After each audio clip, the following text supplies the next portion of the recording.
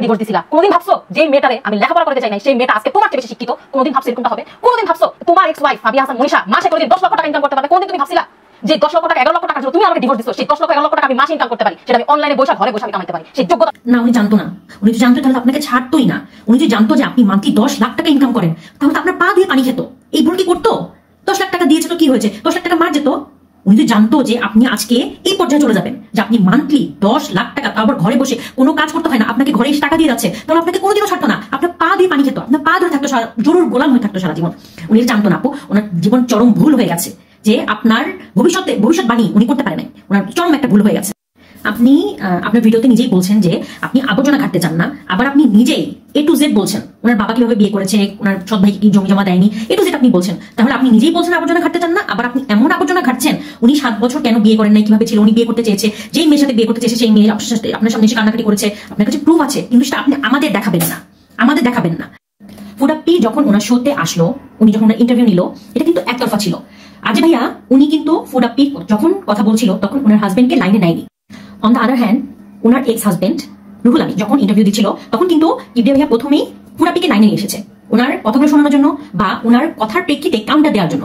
Y উনি যদি ফুডাপ্পি কথা একতরফা শুনে থাকে, উনি যদি ওনার সিম্পিতি দিতে পারে, তাহলে পরের দিন কেন এই ঘটনাটা ঘটলো?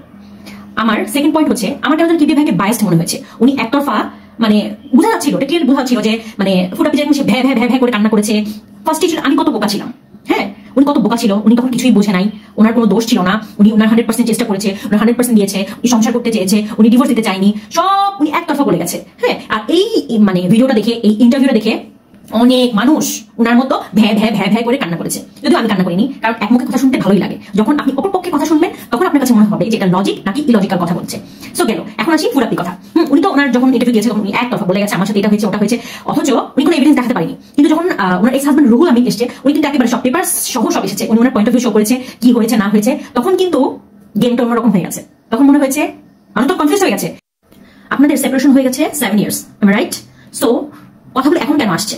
মানে এটার পিছনে কি আপনার পেজের ভিউ বাড়ানোর কোনো উদ্দেশ্য বা আপনি যে নেগেটিভ ভাইব ক্রিয়েট করেছিলেন প্রাইভেট ইউনিভার্সিটি স্টুডেন্টদের নিয়ে কথা বলে ওটা থেকে ওভারকাম করার জন্য আপনি সিম্পিতি নেওয়ার জন্য এই- কথাগুলো এখন টানছেন। যেভাবে আপনি কিবিয়া শোতে এসে কিবিয়া ভাই শোতে এসে হাউমাউ করে কান্না করেছেন, আপনার সাথে এত কিছু হয়েছে। সো এটা তো একটাই মানে মিনিং বের হয়, যে আপনি এখন সিম্পিতি গেইন করার জন্য অথবা আপনার পেজের ভিউ কমে গেছে, ওগুলো বাড়ানোর জন্য আসছেন।